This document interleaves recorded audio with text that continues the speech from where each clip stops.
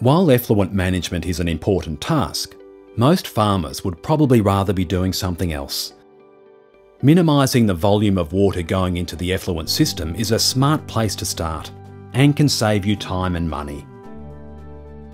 By reducing the volume of unnecessary water, you will reduce time spent hosing and cleaning up, electricity and pumping costs, freshwater use charges if they apply, the required size of effluent storage facilities, wear and tear on effluent equipment, and the time spent managing effluent out on the farm.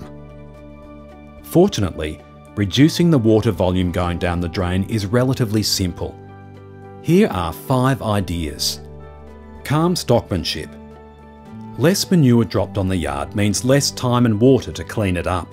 Try to make sure the cows are always handled calmly and quietly in a consistent way by all farm staff. Minimising stress and the length of time cows spend in the yard has a big impact on effluent generation at the dairy. Fixing leaks.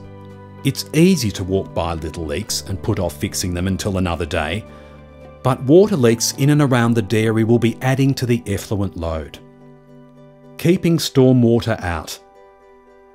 Broken guttering or missing spouting can be adding thousands of litres of water to the effluent pond. Stormwater diversion from clean yards can reduce water inputs, but be aware that it increases the risk of non-compliance if the diversion is not operated properly each and every time.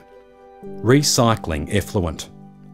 Recycling effluent to wash the yard area can significantly reduce the volume of fresh water going into the effluent system.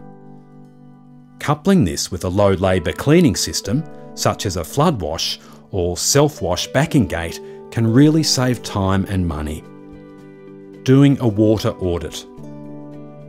An audit can help to identify if your water use is higher than similar dairies. If this is the case, a water audit will allow you to identify which areas of water use are most likely to be able to be reduced without impacting hygiene. Minimise effluent volumes using these five tips. Calm stockmanship. Fixing leaks. Keeping stormwater out. Recycling effluent and doing a water audit.